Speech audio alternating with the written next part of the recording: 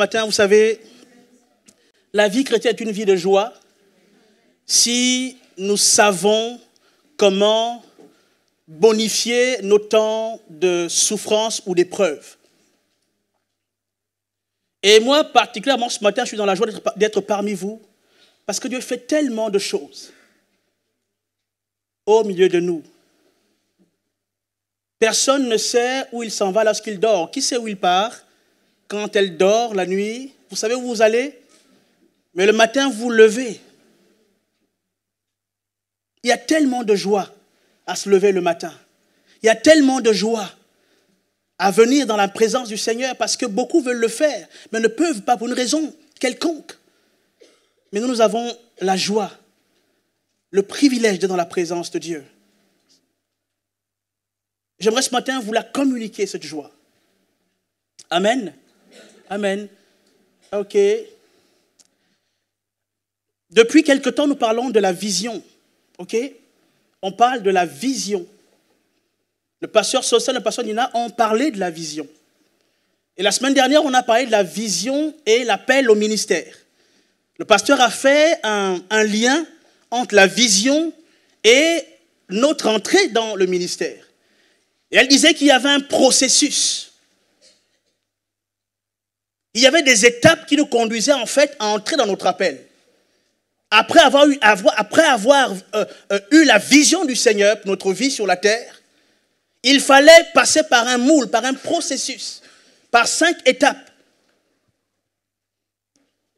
Identifier son appel, sa vocation, pardon.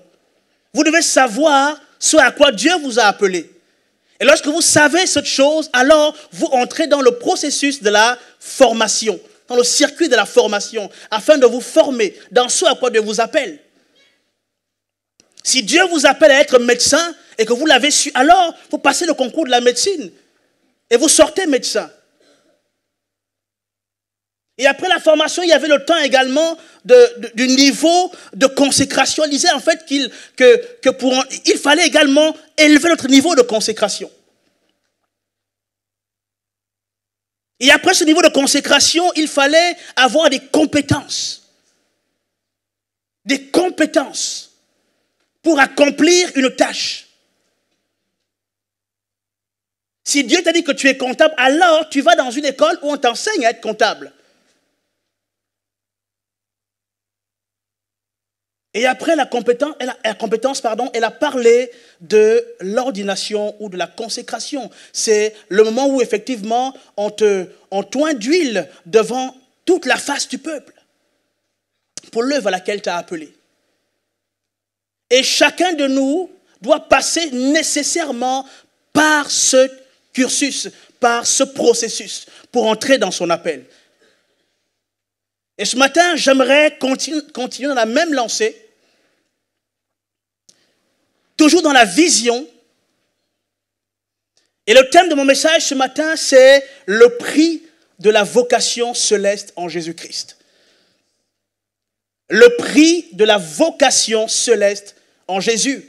La vraie question qu'il faut se poser, c'est quel est mon but ultime sur la terre? Quel est le but de ma vie chrétienne sur la terre? Le mot ultime vient du grec, non, pardon, du latin ultimus, qui veut dire final. En fait, si je transforme mon thème, j'aurai en fait quelle est la finalité de ma vie chrétienne? En fait, pourquoi suis-je chrétien? Parce que bien pour être chrétien, il faut avoir une vision.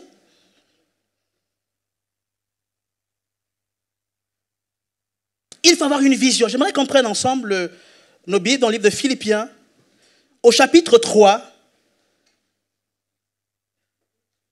Et nous lisons du verset 12 au verset 14. Philippiens, chapitre 3, verset 12 à 14.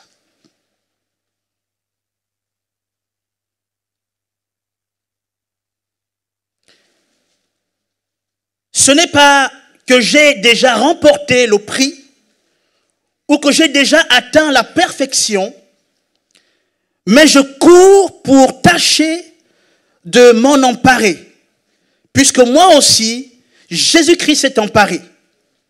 Frères et sœurs, je n'estime pas m'être moi-même déjà emparé, Mais je fais une chose, oubliant ce qui est derrière et me portant vers ce qui est devant, je cours vers le but pour remporter le prix de l'appel céleste de Dieu en Jésus-Christ. J'ai une bonne nouvelle pour toi ce matin. C'est qu'il derrière ton appel, il y a un prix. Et lorsque Paul parle de prix ici, Paul ne parle pas d'un effort qu'on doit fournir. Je ne parle pas du prix à payer. Parce que parfois on parle du prix à payer. Le prix de la consécration, le prix de telle ou telle chose. Non, ici Paul parle de course. Et lorsqu'il parle de course, il met à la fin de la course, il y met un prix. C'est bien aimé qu'il y a un prix, il y a une récompense que nous gagnons lorsque nous vivons notre vie chrétienne. Et bien aimé, c'est cela en fait la vision. La vision, c'est ce à quoi Dieu t'appelle.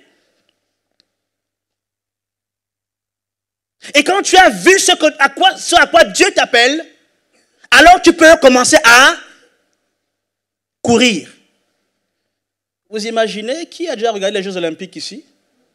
Bah, Imaginez au Ball, il se met sur la ligne de, départ, il ne sait pas où il va, et il commence à courir.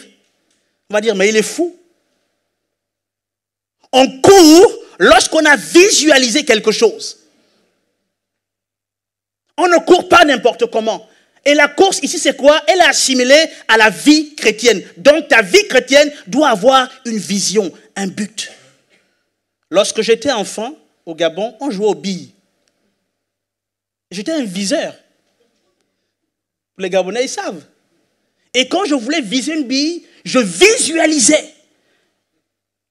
Malgré les obstacles qu'il y avait, je visualisais. Je me disais, OK, elle est à tant de mètres, alors je vais viser.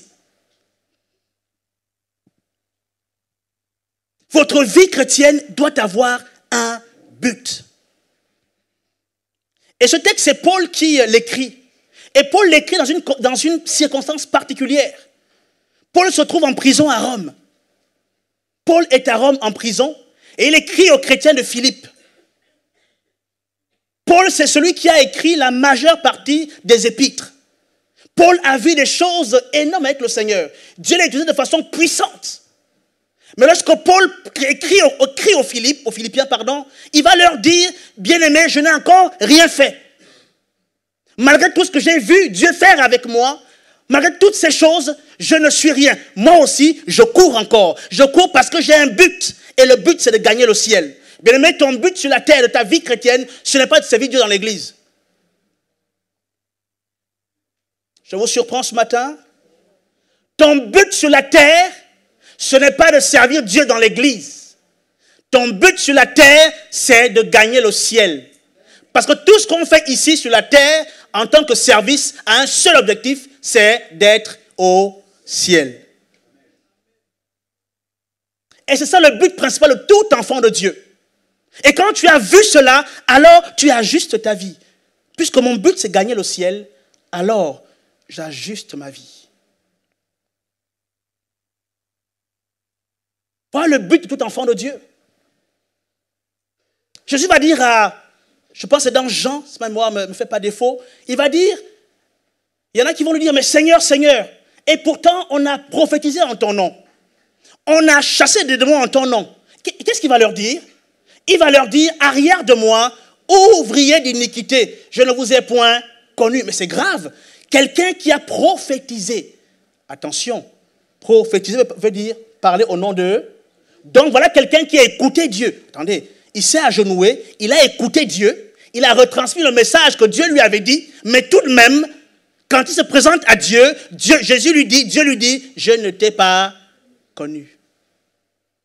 Donc voyez-vous, le service à l'Église, les dons spirituels ne sont pas, bien aimés, le but pour lequel vous êtes dans l'Église. Le but, ton but dans l'Église, c'est de gagner le ciel. Si je suis là ce matin, à quoi ça me sert d'être là ce matin et que j'aille brûler en enfer? J'y ai gagné quoi? Oh, oh, à vous faire plaisir, à vous montrer euh, mon beau costume peut-être. qu'est-ce que j'aurais gagné à, le faire? Absolument rien. Ce n'est pas le but principal de l'enfant de Dieu. Ton but principal, c'est de gagner le ciel. Il y a trois choses qui m'ont marqué lorsque j'ai lu ce texte. C'est le, terme prix, course, d'accord? Qui m'ont marqué? Le, mot prix veut dire en grec brabéo. N'écrivez pas, si vous voulez vous écrivez. J'ai fait un peu de grec ce, matin. Brabéo, et brabéo veut dire la récompense du vainqueur dans les jeux. Ça veut dire que lorsque Paul parle de course ici, lorsqu'il parle de prix, pardon, en fait, il y voit derrière une notion de récompense. Paul ne courait pas n'importe combien, mais tout ce que Paul a fait avait un seul but, c'était de remporter la récompense. Il y a souvent, il y a quelques années, euh, un sujet euh, équato-guinéen. Ah, c'est un pays d'Afrique. C'est euh, au nord-ouest du Gabon. Avait participé aux Jeux Olympiques dans une discipline un peu bizarre, la natation. Il est allé à Atlanta en 96. C'était Atlanta en 96. Un nageur. Mais voyez-vous, les gens d'Afrique subsaharienne ont une caractéristique particulière, ils sont petits. Ils sont petits. Alors si vous voyez les nageurs américains, ils sont euh, Michael Phelps, c'est un géant. Ce que vous voyez ici en France, c'est des... Ceux qui font les danses là, comment on l'appelle? Dites-moi, vous regardez ça. Euh, euh, danse avec les, les stars. Il y a un là qui dansait, non? Comment? C'était pas Manodou, c'était un autre là. Qui? Camille. Donc tu regardes ça. Voilà. C'est ça que je voulais voir. Donc elle regarde, regarde ça. Vous Elle regarde. Elle regarde ça. Donc, si vous regardez Camille la cour, c'est un géant. C'est pas un petit, c'est un géant. Donc vous imaginez quelqu'un qui, qui a 1m95 face à un, à un monsieur qui a 1m70. Quand les deux font des brasses comme ça, qui peut, qui peut larguer l'autre? Vous savez comment il a fini, mon frère? Bien aimé, les autres avaient déjà fini depuis longtemps. Parce qu'ils font des tours. ils font pou, ils cognent là-bas, ils reviennent. Les autres avaient déjà fini depuis longtemps. Ils étaient encore en train de nager. C'est pas possible. Bien aimé, la vie chrétienne nécessite une préparation. Ah, mon frère. Bon. Et voyez, c'était pour dire quoi? C'était pour vous dire que l'expression selon laquelle il faut juste participer ne tient pas la route. Dans la vie chrétienne, ce n'est pas seulement je vais essayer. Ce n'est pas seulement je vais essayer. Si tu es engagé dans le Seigneur, ton but ultime, le mot ultime veut dire final, ne voyez pas la guerre. Le but final, c'est au ciel d'être avec Jésus. J'ai fait une formation avec un petit arabe. Et euh, moi, quand je vais dans une formation, je décline mon identité. Et même il y en a qui, me soupçonnent. Et donc, il, me voit après, il me dit, mais je ne sais pas pourquoi on, en est venu à parler du Seigneur, de parler de, des choses de Dieu, et puis voilà. Et puis il me demande, mais, mais, mais toi, raconte, dis-moi un peu, euh, euh, c'est quoi le. Qu'est-ce que tu. Euh, qu'est-ce que tu gagnes à être chrétien? Est-ce que quand tu vas mourir, tu iras au paradis? Je lui ai dit, mon ami, droit dans les yeux, je lui ai dit, écoute, moi que tu vois là, j'ai acheté un billet de train. Bordeaux, le ciel. Je ne m'arrête pas à Angoulême.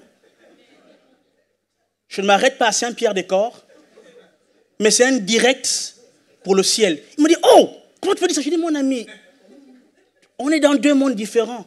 Dieu, c'est mon Père. Oh, quand je lui ai dit ça, Dieu c'est mon père. Il me dit, non, sacrilège. J'ai dit, mon ami, Dieu c'est mon père. Je parle avec Dieu et Dieu me parle. Il me dit, non. J'ai dit, oui, mon ami. Moi que tu vois là, j'ai un billet direct le ciel. Je ne m'arrêterai pas à, à Angoulême pour faire la correspondance. Non, non, non, non, non, non. Pas du tout. Il me regarde comme il dit, mais vous, mais... Une autre, dans une formation ici, pas loin, parce que je fais une formation en assurance. Donc je dis aussi, hein. Elle me regarde, elle me regarde. Vous savez, vous savez il, faut être, il faut être ce que vous êtes. Tentez pas d'être des gens que vous n'êtes pas. On est allé en formation, on suit la formation ensemble. Je pense une semaine plus tard, elle arrive et me dit, toi là, je suis un serviteur de Dieu. Je lui dis, mais oh, tu as vu ça où? Moi, je ne suis pas un serviteur de Dieu, je suis un, je suis un homme comme toi. Comment tu me dis? Il dit, non, c'est pas vrai. Je t'ai vu quelque part. Je dis, non, tu ne m'as pas vu quelque part, ma soeur. Je ne suis pas serviteur de Dieu, je ne le suis pas. Il dit, non, c'est pas vrai. C'est pas vrai. Elle, me dit, elle réfléchit, elle réfléchit, mais non, mais non. Et comme un jour on parlait de mariage avec, avec tout le monde, il, il en train de parler de divorce. Je, dirais, leur ai dit, écoutez, on ne divorce pas. Elle me dit, ah, je comprends maintenant pourquoi tu disais des choses comme ça. Je lui dis maintenant, ok, je lui dis, écoute, prends ton téléphone et marque mon nom. Marque mon nom sur ton téléphone. Elle marque mon prénom et mon nom. Et donc, elle voit les vidéos euh, de l'église où je prêche. Elle dit Ah oui, je savais que tu étais un chrétien. Je sais que tu étais un homme de Dieu. Parce que la façon dont tu défendais le mariage, je dis Mais voilà, comme ça vous êtes. Donc, bien aimé, il faut être ce que vous êtes. Partout où vous êtes. Tentez pas de jouer le. Et même elle-même, me challenge. Parce que quand j'avais dit un truc bizarre, je me regarde. Non, je suis quand même serviteur de Dieu. Donc, il faut quand même que je me maintienne. Donc, ça, c'est de la minute pour rigoler. Mais c'est important de savoir que nous ne courons pas pour ne pas remporter le prix. Si tu viens à l'église pour dire tu, tu, tu participes seulement, bien aimé, tu auras du mal à vivre pleinement ta vie chrétienne sur la terre. Tu auras du mal à la vivre, cette vie chrétienne. Donc, c'est la récompense. C'est aussi, regardez ceci, deuxième définition, la récompense dans les cieux du chrétien. J'ai trouvé ça dans le lexique grec. Donc même les Grecs reconnaissaient que le mot prix était assimilé à une victoire pour aller au ciel. À une victoire pour aller Donc quand Paul parle de prix ici, Paul ne se voyait pas sur la terre, il se voyait au ciel. Je te pose la question. Tu cours, tu vas où? Fanny va rigoler. Où vas-tu, Kumba? C'était un film chez nous au Gabon. Où vas-tu, Kumba Bon, elle comprendra, elle vous expliquera. Hein? Quelqu'un qui n'avait aucun but. Dans, ce film-là, il n'avait aucun but. Il marchait seulement. C'est pour ça que le film était le titre Où vas-tu, Kumba Kumba, c'est un nom. Donc, est-ce que tu veux être Kumba dans l'église? Sans but, sans vision, sans objectif. Tu viens seulement à l'église. Tu lèves le matin, tu viens à l'église, tu chantes le Seigneur, tu repars chez toi, tu reviens le dimanche prochain, sans but. Quel est ton but? Tu cours pourquoi? Vous savez, quelqu'un a dit, quelqu'un a dit, un homme court à la vitesse de la taille du chien qui le poursuit. Je reprends. Quelqu'un a dit, un homme court à la vitesse de la taille du chien qui le poursuit. Mon ami, si ton chien est gros, mon ami, tu vas courir. Si c'est un chihuahua, tu peux même le shooter du pied. Parce qu'il ne te fera rien du tout. Mais si c'est un, berger allemand, mon ami, tu vas courir. Bien aimé, plus grande est ta vision, plus tu vas courir. Si c'est une petite vision, eh bien tu courras petit.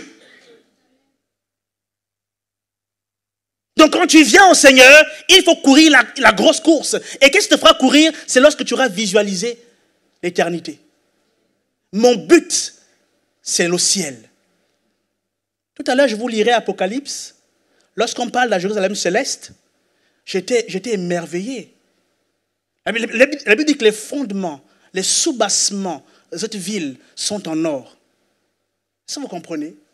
C'est là-bas où nous allons. J'ai essayé de visualiser dans mon esprit. Les soubassements de cette ville sont en or. Les rues sont pavées d'or. Et c'est là-bas où nous devons aller. Mon ami, quand tu as vu ça, eh tu cours. Quand tu sais que c'est là-bas où tu dois finir, alors tu as des raisons d'ajuster ta vie. Si tu ne le fais pas, ben, tu auras raté. Jésus a dit qu'il s'en va nous, nous, nous, préparer des... Attendez, il a dit, il s'en va nous préparer des... C'est dans Jean, des places, donc des maisons.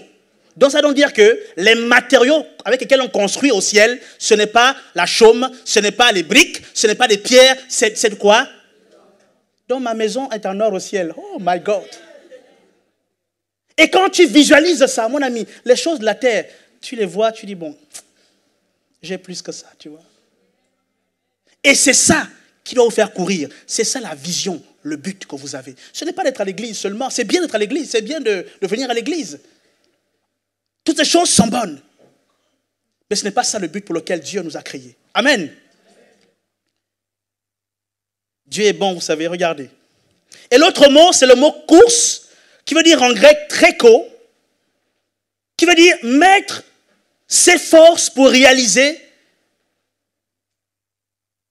ou atteindre quelque chose. Tréco, T-R-E-C-H-O. C'est mettre tous ses efforts, tous ses efforts pour atteindre un but. Donc pendant que tu cours ta vie chrétienne, il faut que tu fasses des efforts.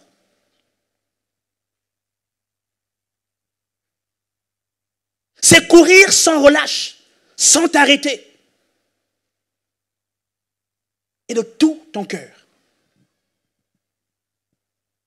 Pour cela, tu dois, mon ami, courir. Ton Dieu n'est pas injuste. Et il voit tous tes efforts. Il voit tout ce que tu es en train de fournir pour gagner le ciel. Et tu le remporteras ce prix. Je suis venu te dire ce matin que ce prix, tu l'obtiendras. En fait, j'ai l'impression que vous ne comprenez pas. Hein. Ok, on va, faire, un jeu. Hein. Ok, on va faire un jeu. Vous allez visualiser dans votre, dans votre esprit, quand je parle d'esprit, je ne parle pas qu'il faut enlever l'esprit, mais non, non, dans votre imagination, imaginez ici la Jérusalem céleste. Imaginez comment est construite cette ville dans laquelle vous devez aller. Maintenant, après ça, dites-moi Amen. Bon, non, en fait, d'abord, imaginez d'abord. Vous savez, il y en a qui croient que je suis ce que je vais vous dire là, c'est, devenu du charlatanisme. Non, écoutez-moi bien. La loi de l'imagination, c'est une force et une puissance. Jésus a dit, si tu regardes une femme pour la convoiter, tu as déjà péché. Ça veut dire que, regardez là, c'est quoi? C'est I, ça veut dire que si je regarde une femme pour la convoiter, je suis en train d'imaginer dans la tête. Et il a dit que tu as déjà créé ça. Ça veut dire que si j'imagine, comprenez-moi bien, si j'imagine, si j'imagine le royaume, si j'imagine dans mon esprit, alors je suis convaincu que je peux je l'ai. C'est la loi d'imagination. Ce n'est pas satanique. Je visualise, j'ai une vision. Si tu regardes une femme pour la convoiter, si tu imagines faire des choses avec elle, alors dans ton cœur, tu as déjà fait cette chose. Ça veut dire que si moi, je m'imagine dans le sein de Dieu, avec le Seigneur, alors je suis capable d'obtenir cette. Et je l'ai. Et quand je sais que je l'ai, j'ajuste ma vie en fonction de ce que je vois. Ce n'est pas une chose qui est l'apanage du monde. Imaginez. Un sculpteur, quand il prend une pierre, il imagine la finalité. Vous, vous vous ne voyez qu'une pierre avec des formes bizarres, mais lui voit déjà la statue. Tu prends, un peintre prend, un tableau pour peindre, vous ne voyez rien du tout, mais lui sait déjà ce qu'il veut faire. Et dans son esprit, c'est déjà réel. C'est pour ça qu'il le reproduit sans hésiter. Quel genre de vie tu veux, tu veux chrétienne, tu veux vivre? Est-ce une vie qui, imagine juste ajouter des vestes, les gens tombent? Si c'est ça, que tout le monde fait ça. Même moi bientôt. Non, mais encouragez-moi. Comment vous faites Non, mais, mais, mais, mais comprends pas. Donc bientôt, je vais arriver, je jette ma veste? Si c'est ça ta vie chrétienne, alors mon ami, tu n'as rien compris de la vie chrétienne. Si ça fait touch, les gens tombent. Si c'est ça, on a déjà vu ça depuis longtemps. Si c'est Aïchi, Dieu me dit que tu as appelé un ministère prophétique. Je te vois aux États-Unis, à Los Angeles. Je vois même la maison laquelle c'est avenue Boulevard Street, Washington, D.C. Numéro 615, appartement 25. J'ai monté les. J'ai monté. C'est ça, prophétise. J'ai vu les marches. Et quand tu montes, tu pars à droite. Il y a une porte. Et quand tu vas entrer, tu trouveras sur le lit une enveloppe. C'est la grâce de Dieu. Dieu te bénit. si c'est ça là que nous cherchons, les gens font déjà ça, mes amis. Vous, ne les connaissez pas? Ceux qui font ça Mais vous ne connaissez pas regardez, vous regardez YouTube. Il y en a plein. Ou bien il est là et dit, maintenant, il va pleuvoir. Et puis la pluie tombe. Ah, tu connais le nom, non? Bon, on ne dit pas le nom des gens ici. Et ça se fait. Si c'est ça, mon ami, c'est du, vécu. Tu ne connais pas ça? Si, moi je connais ça. Ce n'est pas ça le but de ta vie chrétienne. Est-ce que quelqu'un me comprend ce matin? J'aimerais vraiment vous défocaliser ce matin des choses qui ne vous rapporteront absolument rien. Parce que lorsque tu visualises le ciel, vous savez, moi j'ai déjà vu Dieu. Est-ce que vous savez que j'ai vu Dieu? Vous ne savez pas que j'ai vu Dieu? Oh, j'ai vu Dieu. Prenez l'Apocalypse. Vous allez le voir. Son trône est comment? Il y a une personne qui est assise. Il a l'aspect d'un homme. J'ai vu Dieu. j'ai vu Dieu. J'ai vu Dieu comment? Par sa parole. Non, si tu attends, si tu attends, vous savez, j'aime dire ça quand je fais ça. Vous savez, le, qui a regardé Moïse? Qui a regardé Moïse, Moïse quand il a séparé le, le, le, fleuve là. Les anciens Moïse, pas les nouveaux là qui sont maintenant modernes là. Non, les vieux, vieux Moïse là. Hein, les vieux. Vous connaissez, hein? On les dit, oh, les dix commandements, voilà, le Moïse là. Je ne parle pas de Moïse de maintenant là. De Moïse, de vieux, vieux, vieux là. Vous savez comment Dieu parlait? On acclame le Seigneur. Vous savez, Dieu avait une voix particulière. C'est ce qu'on aime, les sensations. On, prie dans la chambre, et puis tu entends, tu pries, tu pries, tu entends. Tu pries, tu pries. Seigneur, vraiment, tu as dit dans ta parole. Et puis, et puis tu sens déjà un froid bizarre, une, un froid. Et après, tu entends seulement.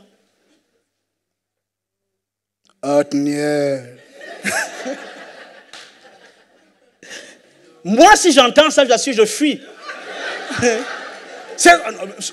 Attends, tu imagines, tu es sur la 4 h du matin, tu, es dans tes temps de prière. Non, attends, sois sérieux, sois sérieux. Tu es à 4 h du matin, tu es, tes temps de prière personnelle. Tu es en train de prier à fond. Et tu entends quelque, tu entends, tu entends, tu, entends, ma fille, mais, mais moi je fuis de la maison. Mais sérieux Si c'est ça là pour lequel tu viens à l'église, mon ami, les gens ont déjà fait ça. Ils ont déjà fait ça. Ton but, c'est de gagner le ciel. C'est que lorsque lorsqu'on se retrouvera, vous savez, que tu sois dans la présence du Seigneur. C'est ça le but pour lequel Dieu t'a. C'est ça la vision que tu dois avoir.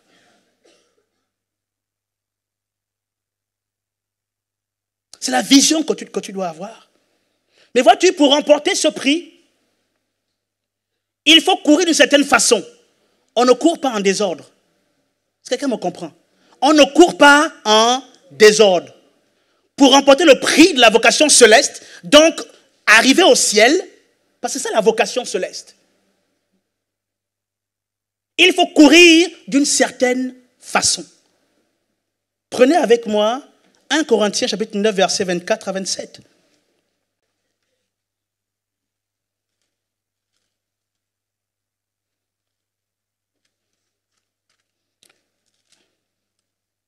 « 1 Corinthiens chapitre 9, verset 24. Regardez, c'est Paul qui parle, il dit, ne savez-vous pas que les concurrents dans le stade courent tous, mais qu'un seul remporte le prix? Et il dit ceci, il dit, courez de manière à remporter la course. Ça était ce que j'ai dit tout à l'heure. On n'est pas chrétien parce qu'on va échouer. Paul courait pour remporter. Vous savez, quand Paul, quand Paul courait, il savait qu'il devait remporter la course. On va encore lire. Tous les athlètes s'imposent toutes sortes de privations et ils le font pour obtenir une couronne qui va se détruire. Mais nous, c'est pour une couronne indestructible. Moi donc, je cours comme, mais pas comme à la venture. Paul dit que je cours, moi Paul, je cours comme pas à l'aventure. Donc je ne cours pas en désordre. Je ne vis pas ma vie chrétienne en désordre. J'ai un but. C'est cela, courir. Vous devez avoir un cap, une finalité, un objectif que vous voulez atteindre dans votre vie chrétienne. Qu'est-ce que tu veux atteindre en 2016 avec, le Seigneur? On est en train de finir 2016. Qu'est-ce que tu veux atteindre comme objectif avec le Seigneur? Hein? Pourquoi je parle de 2016 2016. Je suis encore au passé. Donc 2017, qu'est-ce que tu veux atteindre avec Jésus, avec le Seigneur? C'est quoi que tu veux? Si tu n'as pas cet objectif-là, bien aimé, tu verras que 2017, tu passeras ça normalement. Et quand tu feras le bilan de ta vie, 2017, il n'en sortira absolument rien. Ah si, tu auras agité les vestes. Peut-être ça. On continue.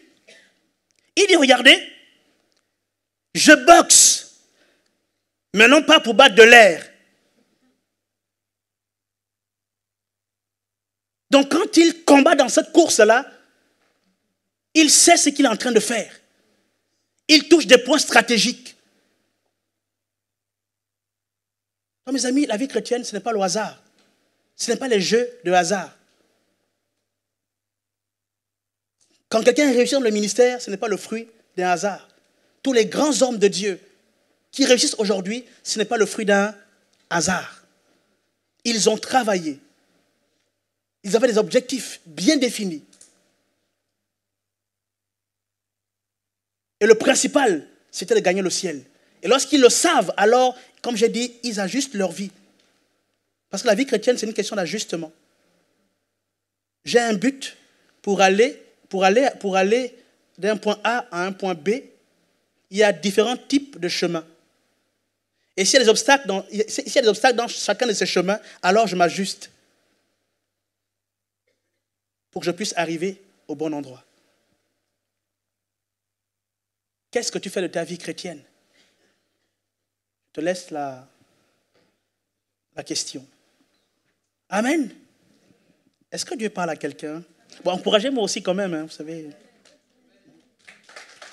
C'est vrai, on a, j'ai aussi besoin de ça, il faut me donner l'énergie en fait. Hein. Voilà, il faut avoir un objectif, un but. Paul avait un but. Paul aurait pu s'arrêter là. Paul avait vu Dieu faire des choses extraordinaires dans sa vie, au travers de lui. Il aurait pu se dire, j'arrête là, c'est bon. Mais il dit aux Philippiens, je n'ai encore absolument rien fait. Je cours encore. Je n'ai encore rien fait. Et aucun d'entre nous ici n'a déjà fait ce que Paul a fait. S'il y a quelqu'un ici, lève la main. Ok dont personne n'a fait ce que Paul a déjà fait. Mais Paul dit ici que je n'ai encore rien fait. Amen. Maintenant, puisqu'on a vu comment il faut courir, il faut courir avec un but. Donc ma vie, à partir d'aujourd'hui, ma vie chrétienne doit avoir un objectif. Quand je rentre à la maison, ça c'est le TPE, le travail pratique, quand je rentre à la maison, je visualise mon objectif. Si c'est gagner le ciel, alors ok Seigneur, c'est ça l'objectif, gagner le ciel. Alors comment dois-je le gagner? en courant. Mais comment courir? Pas n'importe comment. Pas n'importe comment. Pas à l'aventure.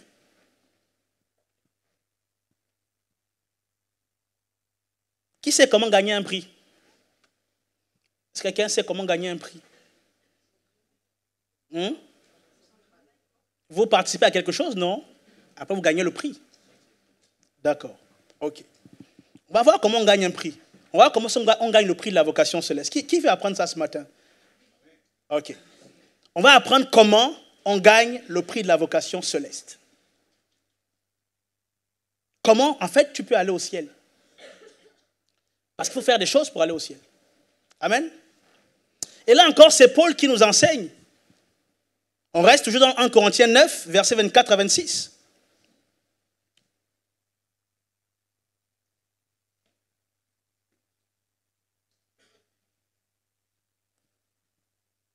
Il dit, on va lire,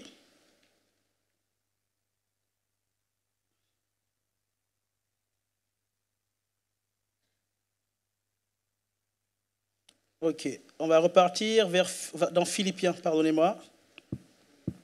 Prenez Philippiens chapitre 3, versets 4 à 7.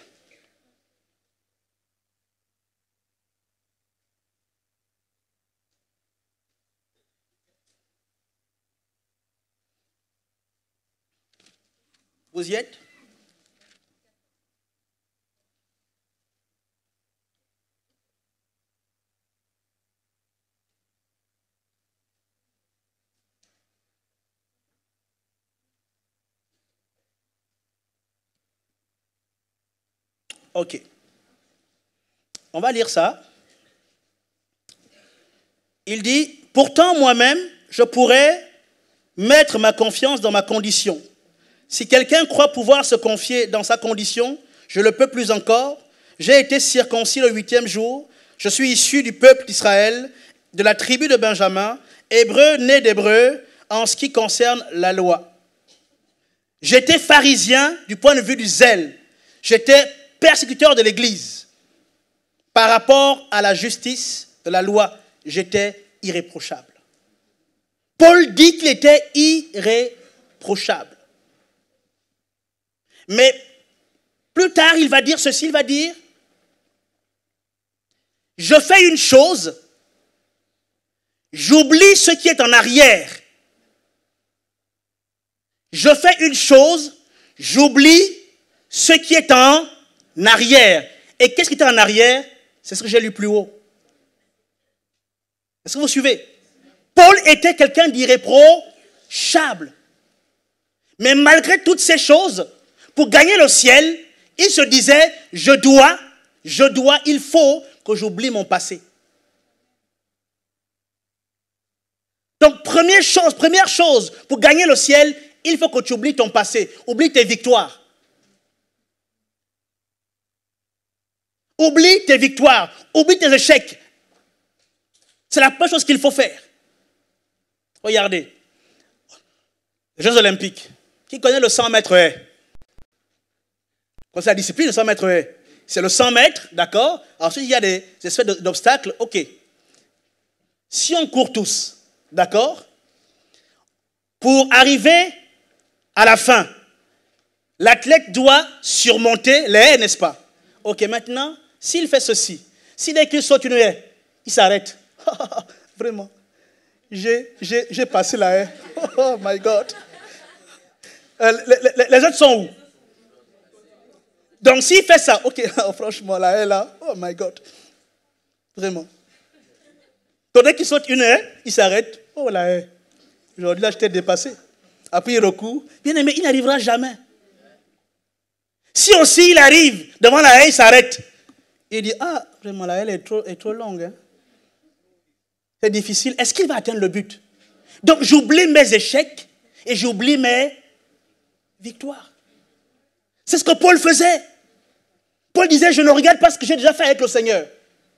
Malgré tout ce que Dieu a fait avec moi, je fais une chose, j'oublie ça. Et je regarde ma condition actuelle, ma vie actuelle. Donc arrête de regarder les, démons que tu as chassés hier. Arrête de regarder la foi que tu avais hier. Dieu veut une foi actuelle. Dieu veut que tu fasses des choses de façon actuelle. Oublie les choses du passé. Parfois, on fait ça. Les témoignages, on a raconté des témoignages actuels. Tu as un truc que tu as fait il y a 10 ans de conversion? Mon ami, Dieu, Dieu, a, arrêté de vivre en. Dieu a arrêté. Dieu a arrêté de travailler avec toi. Oh non, mais vraiment, moi là, quand je me suis converti, hum, je priais 4 heures. 4 heures, moi là, moi que tu vois là. Mais aujourd'hui, c'est quoi? Ça, comme on dit les lunettes, vous connaissez dans les lunettes Mais ça, c'était avant. Voilà. Quand ton cours, c'est cela. Et c'est ce que Paul faisait. Paul lui-même se le faisait. J'oublie, j'oublie le passé. J'oublie mes victoires du passé. J'oublie mon, jeûne que j'ai fait il y a 15 ans. Quand je suis converti, jeûne de 21 jours que j'ai fait il y a 15 ans. Aujourd'hui, tu fais quel jeûne? Non, attends d'abord. Tu as fait ça il y a 15 ans. C'est bon. Aujourd'hui, tu fais combien? Tu fais 15 secondes. 15 secondes de jeûne. Oui, il y a des gens qui font 15 secondes. Je jeûne aujourd'hui. Il se lève le matin, je jeûne. Dès qu'il sort, il voit, les brioches au lait. Il dit non. c'est trop fort pour moi. Il mange. Demain, c'est un jour. Je vais faire un jeûne après. Et c'est ce que Paul faisait. Paul avait une idée en tête. J'oublie ça. Pourquoi le fait d'oublier? Parce que si tu n'oublies pas, tu te focalises sur tes victoires et tes échecs et tu n'avances plus. Voilà pourquoi Paul faisait ça. Et pour aussi pour être quelqu'un de humble. L'humilité. Parce qu'il sait que ce qu'il a accompli ne vient pas de lui, mais de Dieu. Vous avez des gens aujourd'hui, il a réussi à chasser un démon. Je dis, il a réussi. Hein. Je n'ai pas dit qu'il chasse des démons, c'est différent. Il a réussi à chasser un démon un jour. Il a entendu Dieu lui parler un jour. Il a entendu un jour, un jour, pas deux, pas trois. Pour lui, c'est la finalité.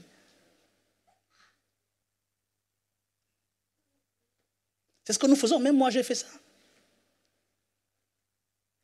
L'orgueil. Tu ne pries même plus. Euh, tu dis, bon, tu fais seulement, bon, tu sais, je vais juste jeûner, je vais juste faire, je vais juste prier. Puisque l'onction est sur moi, je vais juste toucher la personne. Tu dois venir prier, tu ne prépares pas le temps de prier l'intercession le matin, tu ne prépares rien du tout. Non, le Seigneur va faire. J'ai le Saint-Esprit, il va m'aider. Et quand tu viens là, mon ami, ta, réunion de prière, elle est zéro. Parfois, on fait ça. C'est un piège pour les serviteurs de Dieu. Je connais un texte biblique, je le connais. Oh, si c'est un thème, euh, si c'est les cornes, si c'est l'étonnement du crocodile, je, connais le texte biblique. Mais pourquoi vous riez? Attends d'abord, non, non. Là, là, non. Pourquoi vous riez à ce que j'ai dit? J'ai dit éternuement du crocodile. Pourquoi vous riez? Si c'est un texte comme... tu sais où on trouve ça? Dans la parole de Dieu. En plus, c'est même pas ça la parole de Dieu. Non, non, non, non. Non, faut pas rire. Il y a des trucs bizarres qui se passent maintenant là. Il faut faire attention. Vous avez des, thèmes, des, thèmes, des thèmes, des thèmes de conférences étranges. Comment un crocodile peut éternuer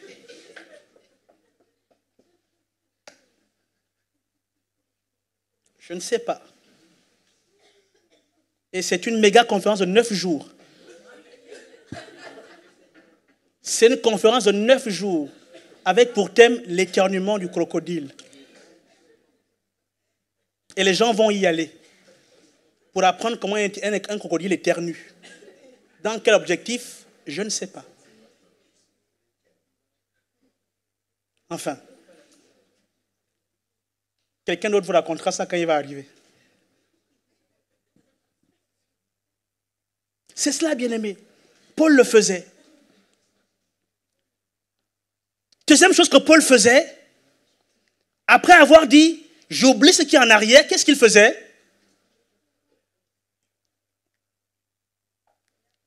Il se focalisait ce qui était en, a, en avant. en avant. Prenez avec moi Hébreu 11, versets 24 à 26. Deuxième chose, c'est se focaliser sur ce qui en avant. En autre terme, sur l'objectif. Hébreu chapitre 11, versets 24 à 26.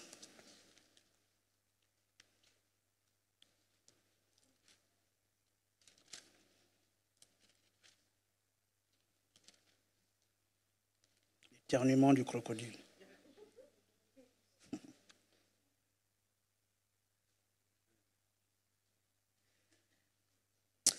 11, 24 à 26. Qu'est-ce qu'il dit? Je pense que c'est l'histoire de Moïse, je crois. C'est par la foi que Moïse, devenu grand, a refusé d'être appelé fils de la fille de Pharaon. Il préférait être maltraité avec le peuple de Dieu plutôt que d'avoir momentanément la jouissance du péché. Regardez ce qu'il dit. Il considérait l'humiliation attachée au Messie comme une richesse plus grande que les trésors de l'Égypte, car il avait le regard fixé, fixé, fixé sur la récompense à venir. De quelle récompense s'agit-il? Il refuse les richesses de l'Égypte, il refuse l'or et l'argent de l'Égypte, mais il s'appuie une richesse à venir. C'est laquelle, d'après vous?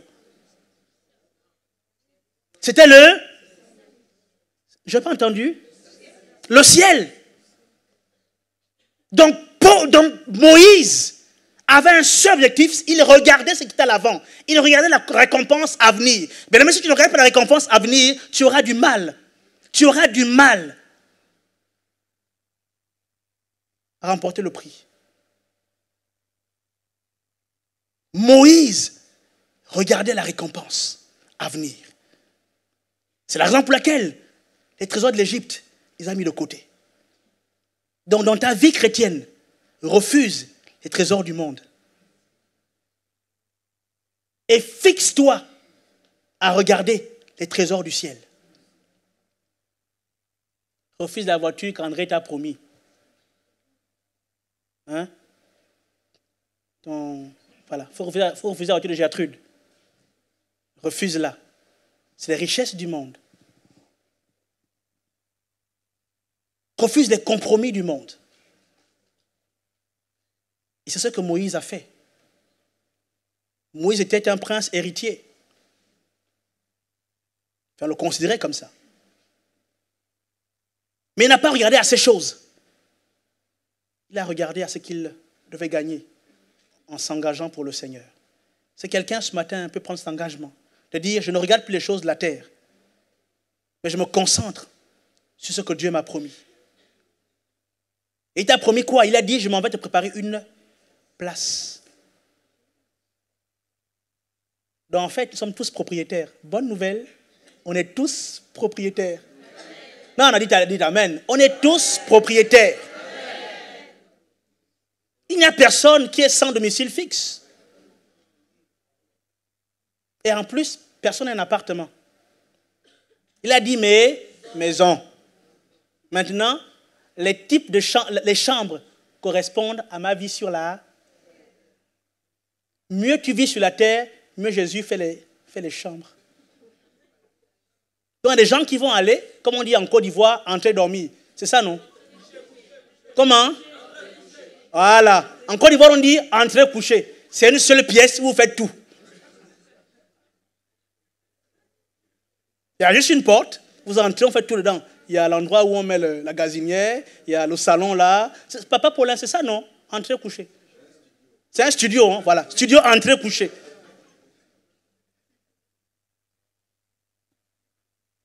Mais si tu veux que ta maison soit construite, mon ami, ajuste ta vie sur la terre. Amen. Voilà ce que Paul faisait. Pardon, Moïse, pardonnez-moi. Ensuite, après avoir regardé en avant, qu'est-ce qu'il fait? Il ne dit pas simplement je m'arrête, je regarde devant et je ne fais plus rien. Il a dit, quand je fais ça, je cours. D'accord? Je m'arrête à regarder ce qui est derrière. Je fixe mon regard devant la montre. Et pour l'atteindre, alors, je cours. Donc, troisième chose, mon ami, il faut courir. Et courir, c'est quoi? Courir, c'est vivre ta vie chrétienne. Prends 1 Timothée 4, verset 7. Courir ici veut dire vivre ta vie chrétienne. Il faut que tu la vives.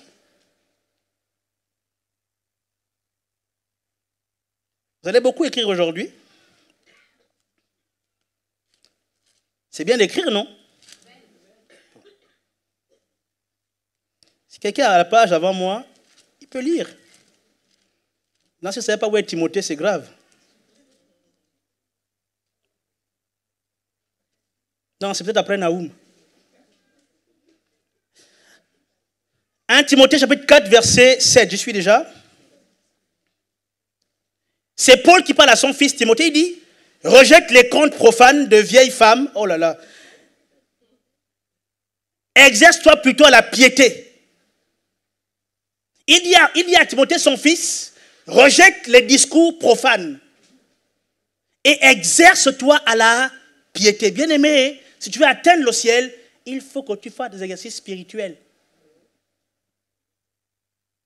Il faut que tu fasses des exercices spirituels. Et c'est quoi les exercices spirituels? C'est prier. C'est jeûner. C'est lire sa parole. Méditer la parole de Dieu. C'est tout ça qui sont en fait des exercices spirituels.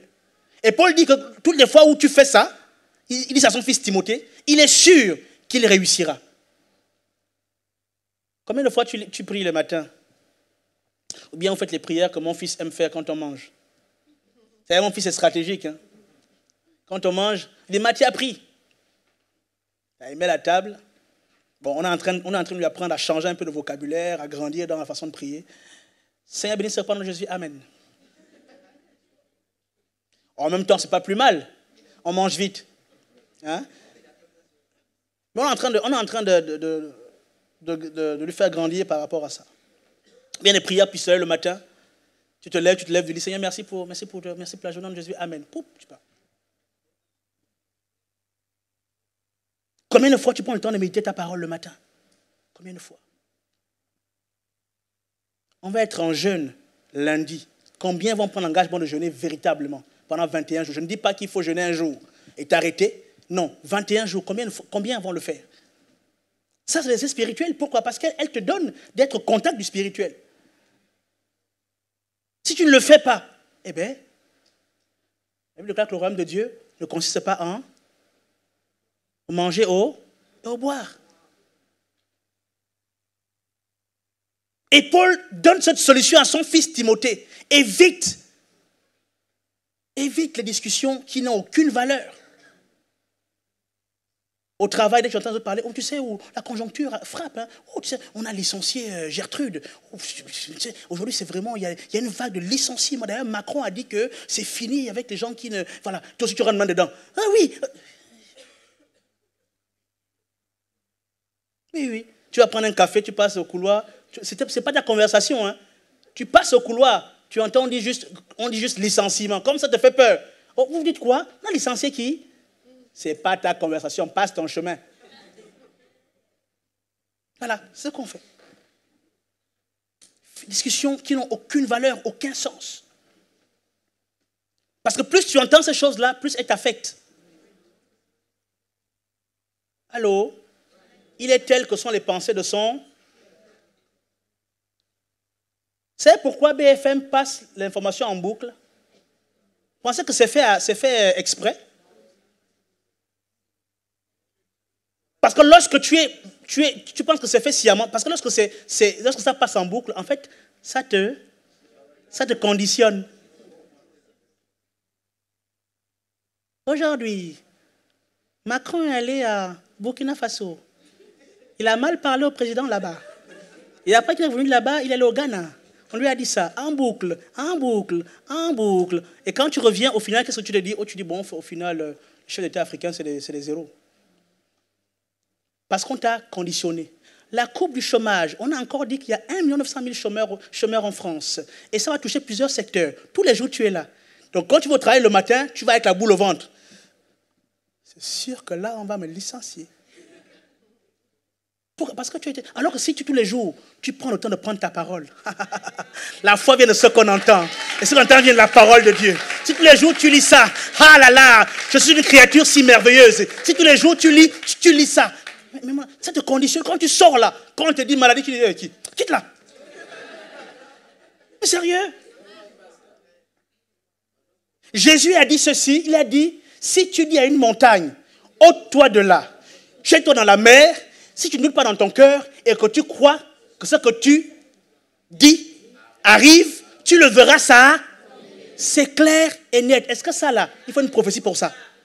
Donc ça dire que si j'ai une montagne dans ma vie, j'ai une montagne sur le chômage, montagne chômage. Donc j'arrive devant le chômage, je dis, oh, tu es là, chômage. Il te répond, oui, je suis dans ta vie. Tu dis, il n'y a pas de problème. Ok. Bon, maintenant, je te dis, c'est fini. À partir de maintenant, là, tu dégages de ma vie. Je ne peux plus te voir maintenant, c'est bon. Ça suffit. Jésus a dit, si tu dis à une montagne, pars de là. Maladie, tu dis, oh, maladie, tu es là. Tu dis, oui, je suis là. C'est quoi ton nom? Fibrome. Ah, bienvenue, fibrome. Ok. Apprends que maintenant, là, dans moi, là, dans moi, là, c'est terminé. Sors de moi. C'est simple. Est-ce qu'il y a besoin de prophétie là? Il y a besoin de faire un truc particulier? Si tu crois, tu le verras s'accomplir. La Bible est simple. Non, tu vas encore compliquer. Non, mais tu vois, non, mais ce n'est pas le pied, c'était l'orteil. Après l'orteil, c'est. Non. Ouais, comme le, le PP, c'est ton nom. Tu vois Non. La Bible, la vie chrétienne est simple elle est efficace quand elle est simple. OK? On a dit qu'il y a des problèmes. D'accord? Soit. C'est la vérité, il y a des problèmes. J'en dis ce qu'on vient pas. Jésus m'a dit quoi le matin?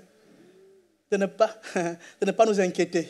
Mais en toute chose, faites connaître à Dieu vos besoins par des supplications, des prédictions de grâce. Et la paix de Dieu, qui surpasse toute intelligence, garde mon cœur et mes pensées en Jésus. Dès que j'ai lu ça, donc si ça arrive, qu'est-ce que je dis aux, inquiétudes? Mon ami, tu es arrivé en retard. C'est tout. Ma voiture, vous savez, il faut, il faut expérimenter des choses. Ma mon fils était malade cette semaine. Il a, eu il a vomi le matin, il avait une gastro, je crois, le matin. Ma femme embauche plutôt, elle est partie. Et, je, et dans cette formation-là, je ne dois pas être absent un jour. Sauf vraiment pour un cas force majeure grave. À un moment donné, j'étais en train de réfléchir comme un homme. Mais je vais pas je, vais, je vais prendre un. Je vais aller. Bon, la, la seule, la seule autorisation d'absence, c'est quand quelqu'un est malade. Donc j'aurais pu, en l'espèce, ne pas y aller et fournir un certificat médical. Donc ça, c'est la, la réflexion humaine. Je commençais à me dire ça, ok, bon, je ne vais pas aller aujourd'hui, je vais l'amener chez le médecin. Et là, pendant que je suis en train de faire ça, je sens dans mon esprit, tu te dis, mais toi, tu es chrétien ou pas? Après, j'ai dit, euh, mais c'est vrai. Mais je suis chrétien. C'est quoi l'affaire là? Mais je suis chrétien, mais c'est quoi? Tiens, viens ici. C'est quoi l'affaire là que vomissement le matin là? Ça, ça veut dire quoi ça? Au nom de Jésus. Mathia, tu es guéri. J'irai à l'école, tu iras à l'école. On ne va pas m'appeler parce que tout se passe bien. J'ai prié pour lui. Je lui ai dit, Mathia, non, j'ai d'abord posé la question, Mathia, tu crois que si je prie pour toi, tu vas, tu vas guérir? Il m'a dit, ouais. Donc je prie pour lui et je suis allé à l'école.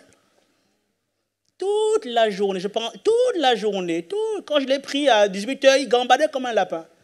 Bon. Le diable aurait pu me... On est chrétien ou on ne l'est pas.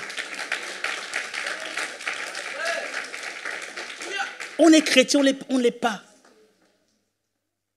C'est pas pour me vanter, je vais même déjà arrêter la pluie. Pardonnez-moi. Sérieusement. Je vais raconter ça ici. On était, dans le tram.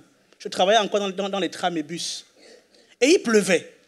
Et comme on a, on a puisqu'on travaille à l'extérieur, on avait horreur de travailler quand il pleut. J'aurais dit, écoutez, vous savez, quand je vais sortir du tram, cette pluie-là, s'arrête. Hé, mais tu es qui toi? Hé, mes collègues là, j'ai dit, non, laissez ça. Quand je vais sortir, la pluie va s'arrêter. On va travailler, il n'y aura aucune pluie pendant toute la journée. On est sorti, il pleuvait un peu encore. Honnêtement, il pleuvait encore, il pleuvait encore. Il pleuvait un peu. Il commençait à me charrier. Tu as dit qu'il ne pleuvait pas, non? Tu as dit qu'il allait s'arrêter. Je l'ai laissé tranquille. Ils ont pris euh, Google, là, quand on regarde souvent la météo. Là. Non, il pleuvra toute la journée. J'ai dit, ne vous inquiétez pas. Calmez-vous. On a travaillé, travaillé tout d'un coup. Le ciel qui était nuageux, ah, le soleil a commencé à sortir. Et on a travaillé de 12 heures jusqu'à environ 23 heures. C'était pendant, la, c'était pendant la, fête du fleuve. Aucune goutte. Comme pour m'amuser, comme Élie avait fait avec les prophètes de Baal. J'aurais dit, écoutez, mais oh, il ne pleut plus.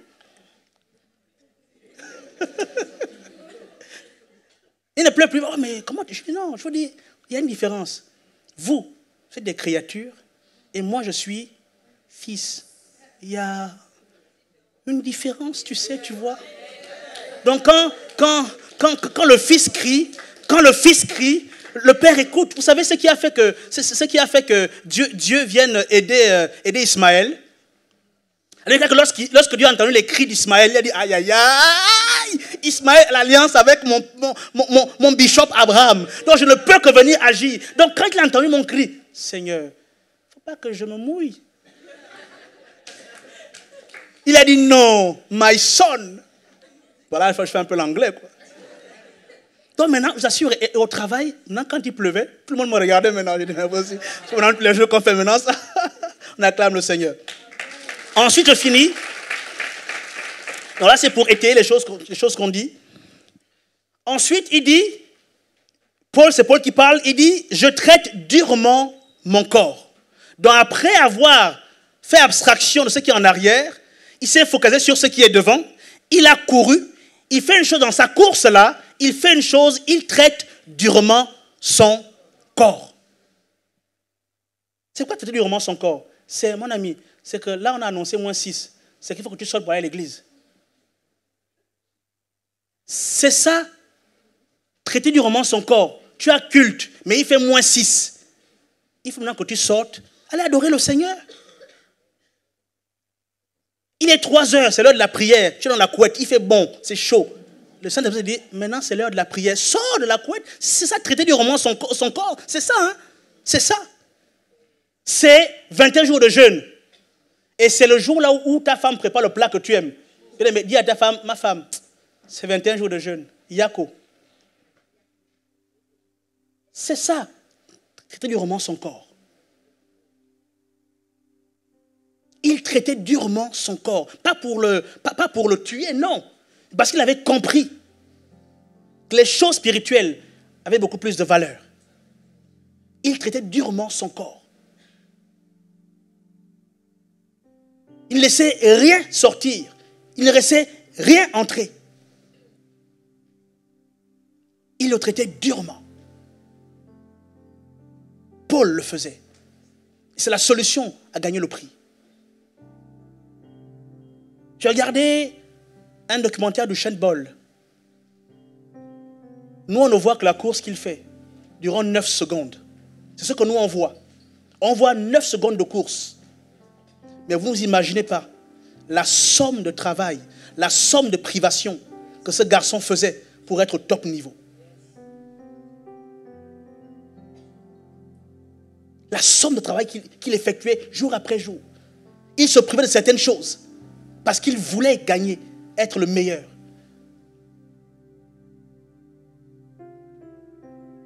Michael Jordan, son prof lui a dit un jour, tu ne seras jamais rien du tout.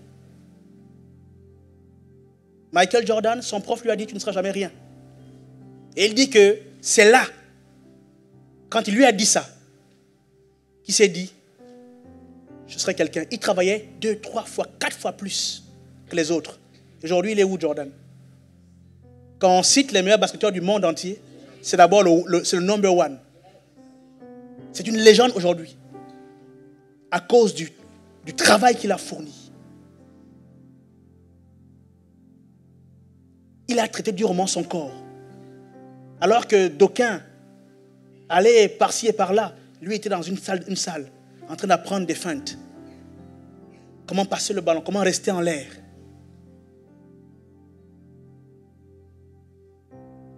Qu'est-ce que nous faisons dans notre vie chrétienne? Tu veux aller plus loin? Traite durement ton corps. Jeûne, prie, recherche le Seigneur, investis-toi, lis, achète des bouquins. Fréquente des frères qui, sont, qui ont un niveau plus élevé que toi pour apprendre. C'est tout ça. Ensuite, dernière chose, Romains 12, verset 1, c'est la consécration. Je m'offre comme un sacrifice saint et agréable pour Dieu.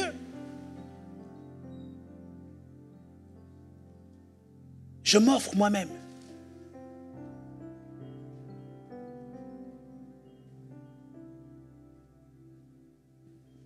Quelqu'un est arrivé dans Romains?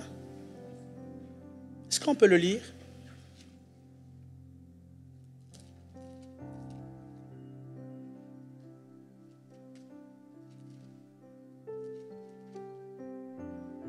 Je vous encourage donc, frères et sœurs, par les compassions de Dieu, à offrir votre corps comme un sacrifice vivant, saint et agréable à Dieu.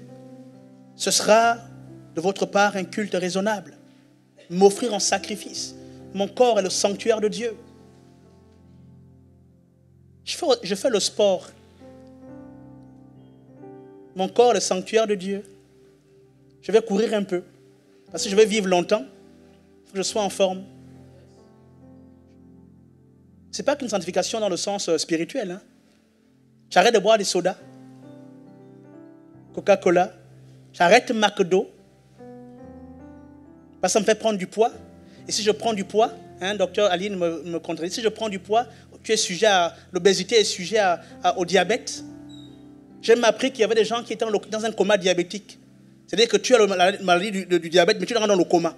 À cause du diabète. Le diabète, c'est le sucre, n'est-ce pas, mon docteur? Les sodas, Coca-Cola, 7-Up Mojito. Vous voulez que je cite, vous je cite, je cite encore? C'est bon, hein? Donc vous connaissez. Diabète. Le sel, la tension. Si ton assiette n'est pas encore salée comme, comme, une rivière, je ne sais. C'est ça la vérité. J'ai appris ça à coma diabétique. J'ai dit, oh, coma diabétique. Quelqu'un part au coma à cause du sucre. Non, non, non, disons bien, il part au coma à cause du sucre. Puisque mon corps est un sanctuaire, alors je le préserve. Je fais un peu de sport, j'ai un vélo que je fais une fois tous les six mois. Mais moi, je fais quand même. Des fois, je dis à ma femme, quand elle me dit, chérie, euh, j'achète quoi? Je dis, non, achète de l'eau. Parce que là, là, vraiment, je crois que... Il faut travailler.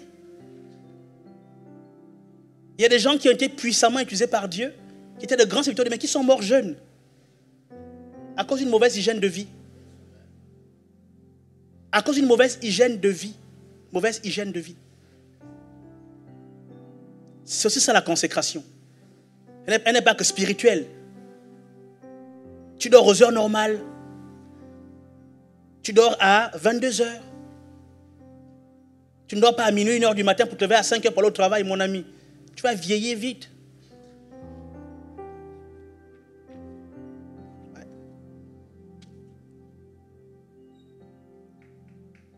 J'espère que je vous ai aidé ce matin. Et ma plus grande, mon plus grand désir, c'est que nous remportions le prix de la vocation. C'est ça la vision. C'est la vision ultime que Dieu a. On, on se lève, s'il vous plaît. On, a fini le culte. Mais voyez-vous, toutes ces choses ne peuvent, ne peuvent avoir que pour sous-bassement le Saint-Esprit. Il dit, ce n'est pas par nos forces, mais c'est par le Saint-Esprit que cela est possible. Ce matin, vous l'avez tous, autant que nous sommes ce matin. Il n'y a personne qui a accepté Jésus et qui n'est pas le Saint-Esprit ce matin. Si tu es là ce matin, tu as accepté Jésus dans ta vie, alors le Saint-Esprit est en toi. Et il est ce qu'on appelle le halos parakletos. L'aide que Dieu t'a donnée. L'aide semblable. Un autre Jésus en toi qui va t'aider à vivre ces choses afin de remporter le prix de la vision que Dieu a sur ta vie.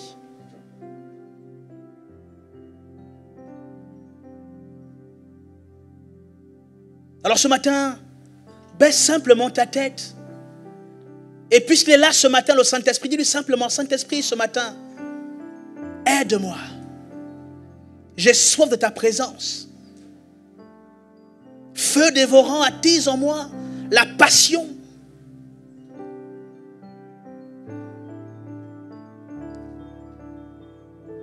La passion. Afin que comme Paul, je remporte le prix de la vocation céleste en Jésus, du plan, de la vision que Dieu a pour ta vie.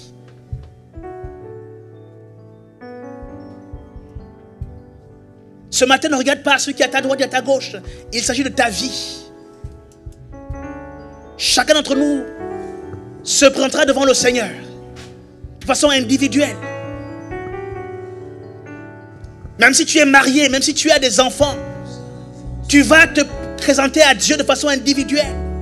Mais tu as besoin du Saint-Esprit pour remporter le prix de la vocation céleste. Alors dis-lui, dis-lui ce matin, j'ai soif de toi, Saint-Esprit.